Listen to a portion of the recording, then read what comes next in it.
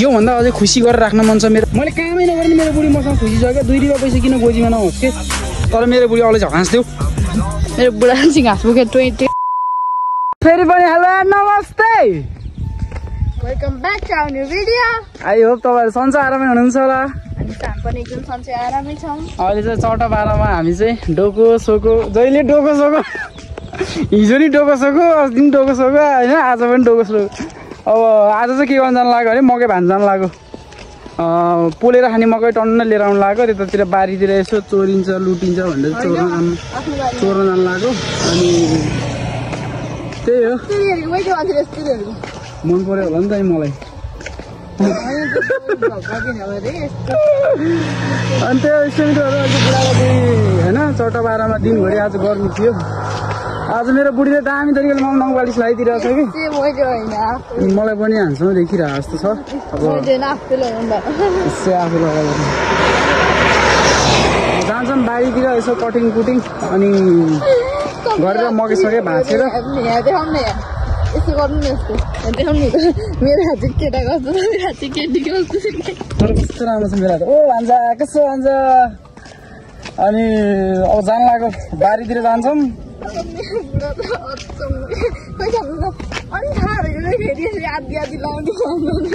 यो भनेको नेपाली स्टाइल हो नि त पहिला पहिलाको जमानामा। आजभन्दा लगभग चाहिँ छ सात वर्ष आठ दस वर्ष अगाडि चाहिँ यसरी लाइन्थ्यो कि हामीले स्टाइल पारेको के चाहिँ अब आदि लगाउने। हुन त अब छोरा मान्छेहरूले नङपालिस लाउँदैन होइन। तर मन चाहिँ लगाइदिएको कि रातोले रातो देखेर। कोही त नगरे दुन भइसक्यो फेरि ल्याङ होला यही घरमा। अर्काको घाँस चोर्नु हुन्न अर्काको मकै चोर्नु हुन्न। यसो बाटोतिर आँप साँप देख्यो भने चोर्नु हुन्न। अनि त्यो नस्पति सस्पति हुन्छ नि त त्यो नस्पति के त्यो देख्यो भने चोर्नु हुन्न केरा सेरा झन् चोर्नै हुन्न। अहिले त अलिकति सिजन भनेको आँपको हो आँप झन् चोर्नै हुन्न। अलग्गै जान्छौँ आफ्नो बारीमा जान्छौँ टिप्छौँ आउँछौँ होइन? आफ्नो बारीमा जाने हो ट्याप्प टिप्ने लिएर आउने। के के हो? Hello hello. ल हामीलाई कार लिन आइरहेछ हामी यहाँ टप यो घाँस काट्न जानु लाग्यो कतिजना लाउनु भयो। हो? जानुपर्छ क्या अब त्यसमा साँच्ची हो? ल ल जानु जानु ल हामीलाई चाहिँ हामीलाई चाहिँ कारै लिन आइरहेको छ क्या अब कस्तो अलिकति लेभल बढाए जस्तो लाग्छ क्या अनि म कस्तो छु है तपाईँ मेरो यहाँ म तपाईँ यहाँ राखेर हिँड्दा अनि अयो भाइ कस्तो क्या अब लेबलै छुट्यो कि अनि कार सार? ल इष्ट मित्रहरू अब बारीतिर गएर। अनि के भएको त नि? यता नि मकै बल्ने यता नि मकै बल्ने यता नि मकै बल्ने यता मात्र नभने किन त नि?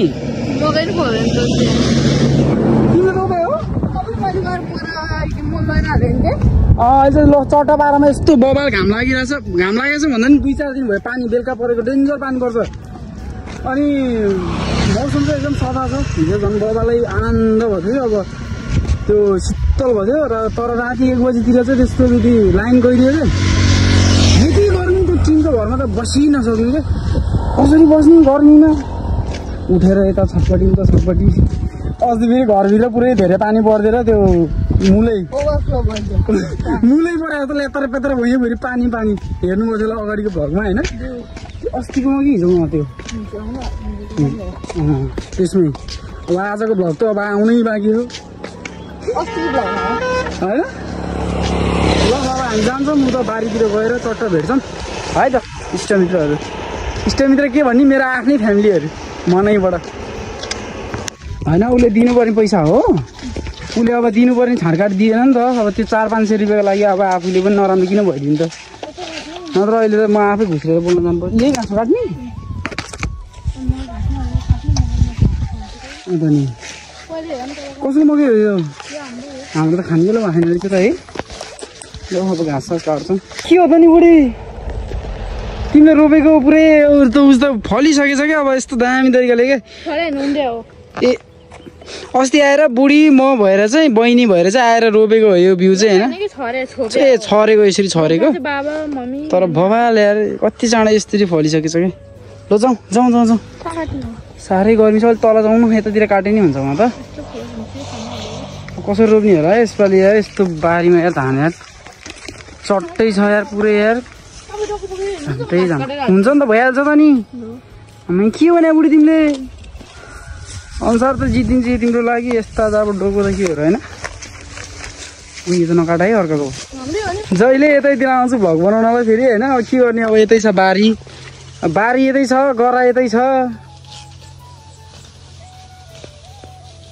अनि हार बारीमा खासै मकै छैन हेर बुढी।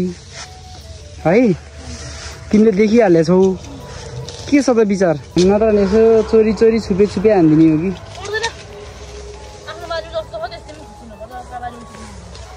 के भयो त अनि मकै त भने आएर अरू चिज हो र अनि सुनै चोरेर लग्यो हो र त्यस्तो टिप्न त हुन्न तर जे हो नि। यसो यार खाँदा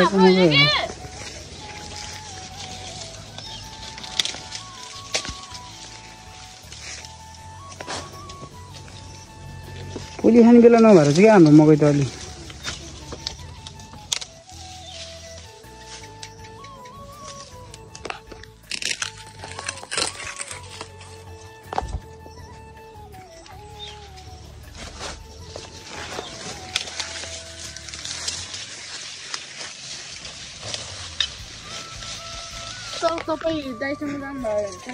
हो र कस्तो तर यार यो मकै त भान कस्तो है कति राम्रो है यो मकै त हँ?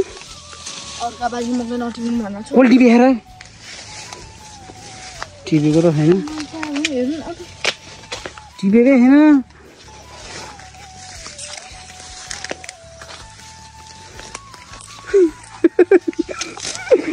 म त मकै टिप्दिनँ कि अर्काको मकै टिप्ने बानी छैन त्यस्तो लोभी गर्ने बानी छैन।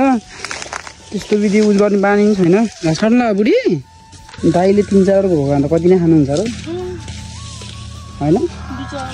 ल एकछिन भेटौँ ल इष्टमित्रहरू। घाँस यता पनि छ यता पनि छ यता पनि छ यस्तरी छ। ए आज त साँझी त स्वेट यता पनि छ स्वेट यता पनि छ स्वेट यता पनि छ। बुढी घाँस काट्ने बुढा हेर्ने। मेरो बुढीलाई सधैँ मेरो अँगालोमा बेर्ने। वा वा भन्नु न। होइन? यस्तो रमाइलो लाग्छ क्या यार तर यार बुढीले घाँस काटेको हेर्न त यार यति मजा लाग्छ कि। आफू पनि त्यसरी काट्न पाए हुन्थ्यो भन्ने लाग्छ। काट्नै दिन्न बुढीले काम गर्नै दिन्न। ए साँझ त मैले त्यो डोकोभरि काटेर बसेको त म बिर्सिरहेको कि फेरि। फास्टै काम गर्ने हो म त। त्यो अरूले जे सिक्यो भने नि त्यो फरक नपर्ने कि अब यस्तो हो नि त अब घरतिर त के भन्नु थाहा छ? के अरे काम गर्नुहुन्न छोरा मान्छेले। बुहारीले मात्रै हो काम गर्ने भन्छ नि त घरतिर त अब हाम्रो होइन फेरि त्यो अरूको। बुहारीले एकदम काम गर्नुपर्छ चिया पकाउनुपर्छ भात पकाउन र पुरै दिउँसो खाजा बनाएर बाबुआमालाई ट्याकटुक सासूहरूले गर्नुपर्छ भन्छ तर त्यो होइन कि बुढाले जति सक्छ मनले नै काम गर्नुपर्छ। हो किन बुढी भन त? मैले तिमीलाई हेल्प गरेको तिमी भनेको मेरो लागि भनेर आइरह यो घरमा। मैले तिमीलाई हेल्प नगरेको कसले गर्ने ल भन न। तर मलाई एक दुईवटा कमेन्टहरू आइरहेको थियो कि होइन? मलाई यस्तो चित्त दुखेको थियो कि त तँसँग पैसा छैन भन्छस् यताउता भन्छस् होइन? त्यसको नि बजार छ कि? काममा यस्तो हो नि त। अब मैले भने नि त तपाईँहरूलाई होइन मैले मैले त अस्ति के भनेको थिएँ भने बुढीले भने रहेछ होइन। पैसा नभएर चाहिँ हामी यताउता जान्न नपाएको यताउता भनिरहेको थिएँ कि होइन। त्यसको नि बजार छ कि? ब्रदर होइन तपाईँकै लागि भने यो शब्द चाहिँ मैले होइन तपाईँले कमेन्ट गर्नुभएको रहेछ। अनि त्यसको पनि बजार छ नि त यार। के राख्नु तपाईँलाई होइन? म त्यो तिन चार वर्ष भयो बुढी है तिन वर्ष जति भयो मैले मेडिसिन युज गरेको। त्यही भएर म विदेश जान मिल्दैन यताउता होइन जब गर्दै थिएँ जब पनि उस भएर टुटेर चाहिँ अहिले दुई महिना जति घर बसेको होइन। त्यही भएर चाहिँ मलाई गाह्रो भयो होइन। मलाई हल्का हेल्थ अलिकति सन्चो नभएर हो नत्र म यतिको बस्ने मान्छे चाहिँ होइन कि? त्यही पनि मैले यताउता गरेर होइन मेरो बुढीलाई ओ बुढी तिमी खुसी छौ कि छैन लो भन त। खुसी छौ नि तिमी होइन? मसँग खुसी छौ नि होइन? मैले कामै नगरे नि मेरो बुढी मसँग खुसी छ क्या? दुई रुपियाँ पैसा किन गोजीमा नहोस् के? तर मेरो बुढी अलि हाँस्थ्यो तर खुसी छ क्या गाई होइन? पैसाले मात्र खुसी हुन सक्ने पनि होइन एउटा कुरो होइन म फिक्स भनिदिन्छु कि। हुन त हामीसँग पैसाले पैसा पनि चाहिन्छ होइन तर पैसाभन्दा सबैभन्दा ठुलो कुरा साथ चाहिन्छ क्या बुढाबुढीको साथ मन मिल्नु पऱ्यो क्या हाम्रो घर फ्यामिली एकदम खुसी छ नि त म यहीँ बसे पनि। मेरो बाउले मलाई काम गर्न दिन्न हो म बिरामी छ भनेर। के भन्ने? मैले नि के बाध्यताले हो र भनेको के? बाध्यताले के घर बसिरहेको यतिकै बाध्यताले हो। बुढी मैले आजभन्दा भनौँ न दुई तिन महिना अगाडि कति काम गर्थेँ ल भन त। काम गर्थेँ कि गर्थेन भन न। रेगुलर बिहान दस बजी गएर बेलुका पाँच छ सात आठ बजीतिर आउँथेँ क्या घर। काम गरेकै हो कि? अब त्यस्तै त्यस्तै भएर अब काम बन्द भयो यताउता त्यही भएर त अब यस्तो हालत भएको नि होइन?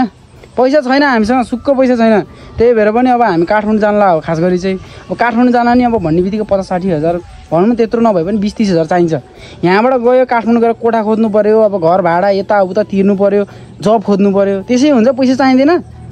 मान्छेलाई हुर्किने बित्तिकै के पैसा टन्नै रुखमा फलेर हुन्छ त्यस्तो हुन्छ क्या गाइज होइन? ब्रदर तपाईँलाई मैले त्यही भएर त्यस्तो कमेन्ट गर्नुभएछ अलिकति चित्तै दुख्यो। मैले पनि अब कमाउन त मन लाग्थ्यो नि यार टन्नै पैसा कमाउनु मन लाग्दैन र। पैसा कमाउनलाई पैसै चाहिन्छ के? बुझ्नु भने किन पैसा खोजेको? थाहा छ नि। विदेश जानलाई एक दुई लाख पैसा चाहिन्छ बुझ्नु तिन लाख भने? पैसा चाहिन्छ। विदेश जानु नि डेढ दुई लाख लाग्छ। उसलाई घरमा सुक्को कमाइ छैन बाउ बुढा भइसक्यो आमा बुढी भइसक्यो। होइन? त्यही भएर पनि तनाव छ त्यही भएर चाहिँ मैले अब बुढीले त्यस्तो त्यसो भनेको चाहिँ मलाई थाहा पनि थिएन।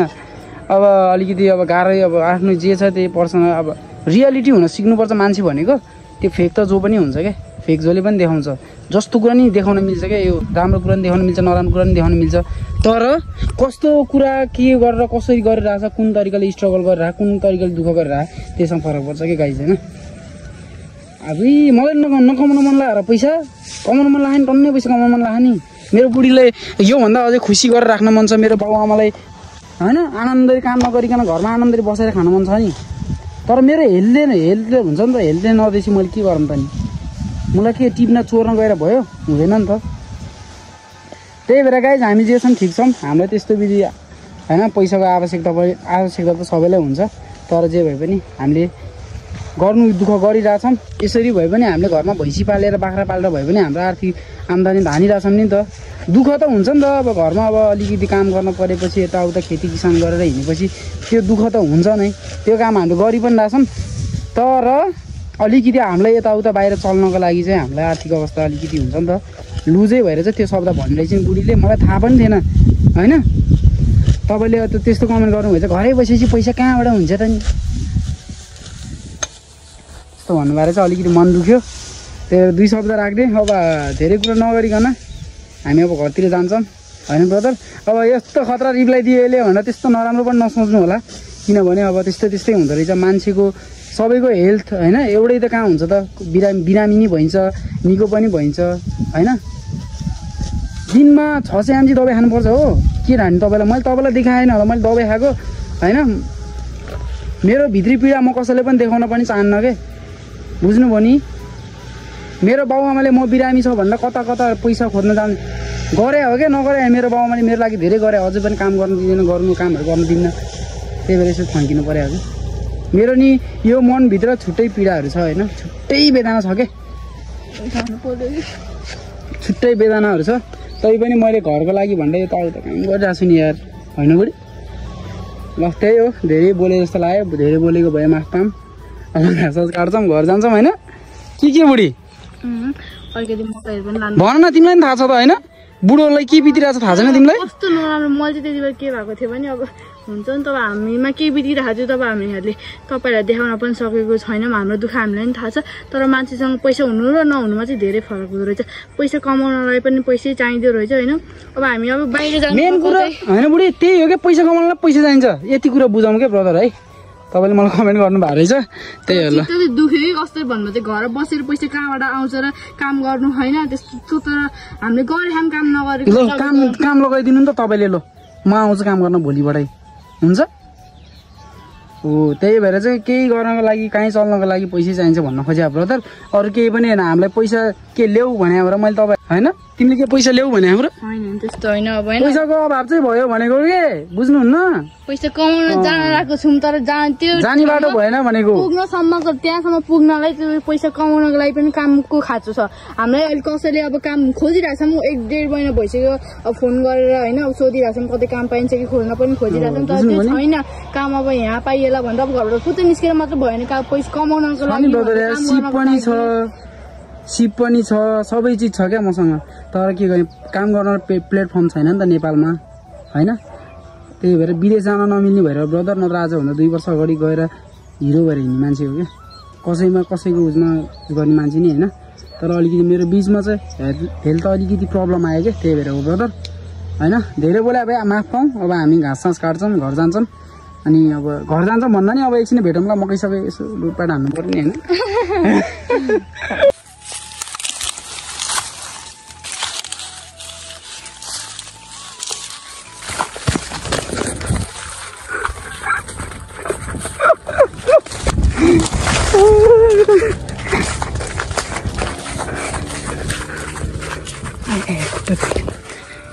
ल गाइस यति चाहिँ चोरेँ मैले। अझ चार पाँचवटा दुध कम्नु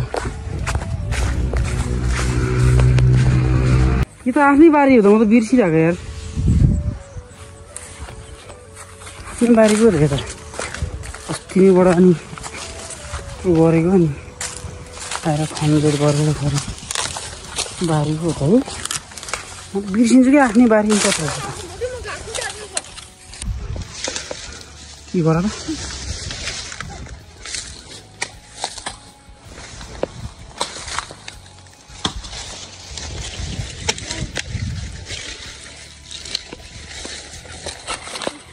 उब्डी उब्डी सनफ्लावर फलेछ यहाँ त सनफ्लावर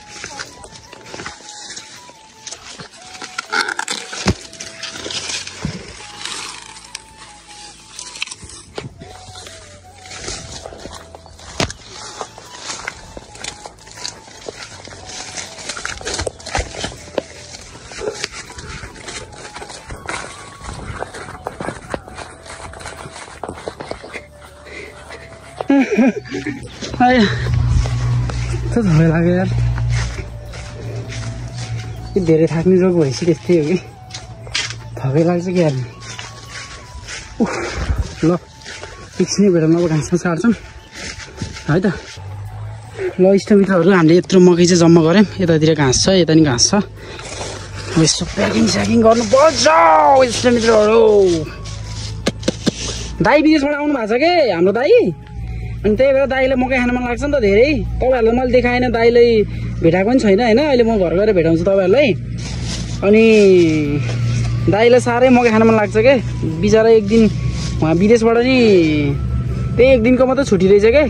एक दिनको भन्नाले त्यही पन्ध्र दिनको छुट्टी ल्याउनु भएको रहेछ। दस दिन काठमाडौँ बस्नुभयो अनि त्यही भएर घर आउनु भएको छ बेलुका चाहिँ। कुन चाहिँ हो?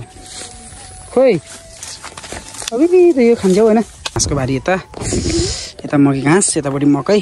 उता फेरि अझै काट्दैछन् बुढीले। अनि यता म पानी हाल्दैछु एकदम तिखा लाग्यो। साथीहरू अब चाहिँ हामी जान खोज्छौँ गरौँ मेरो बुढा चाहिँ घाँस बोकेर टोइ टोइ गएको छ। यी मकै चाहिँ प्लास्टिकमा हाल्यौँ किनकि अब घर लगेर फेरि केलाई कुरै गर्नुपर्छ नि त। अनि एकैचोटि लगेर यसरी लगेपछि त सजिलो हुन्छ हामीलाई। अनि घाँस र मकै पनि छुट्यो नि त बारीमा घर लगेपछि फोहोर पनि हुन्छ नि त। अनि त्यही भएर अनि घरबाट प्लास्टिक बोकेर आएको बाबु हामीले।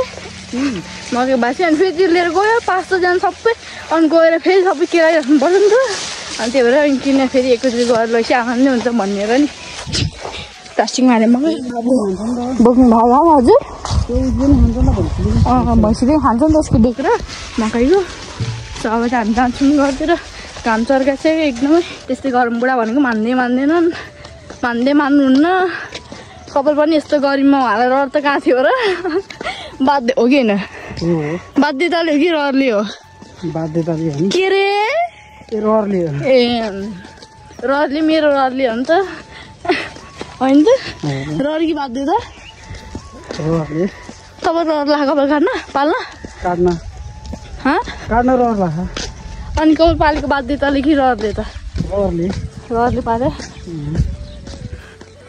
अनि अनि हिजो कि अस्ति चाहिँ काटेर आउँछु भन्दाखेरि किन नकाटेर त फेरि लौ अनि कपाल काटेर आइदियो है मैले कपाल टाल दिन्थेँ र ल्याएर भने मलाई लास्टै मनपर्छ कि कपाल पाले यति मेरो भन्दा पनि लामो थियो स्ट्रेट पनि गर्नुभयो कपाल अनि कपाल पनि धेरै थरी कलरहरू हालेर है स्ट्रेट गरेर कलर हालेर स्ट्रेट गरेर आएको एक दिन दुई दिनपछि त कपाल काटेर आउनुहुन्छ ए बा त्यति बेला मलाई धेरै पिटिने है तपाईँले चाहिँ अलिकति डराउनुहुन्छ कि छेउमा होइन छेउमा छेउमा। त्योहरू मान्नु न कपाल काट्नलाई सो देख्न सक्नुहुन्छ हाम्रो खरे बजार। यस्तै गरौँ भएको साथीहरू हामी घरतिर गएर भेटौँ है त।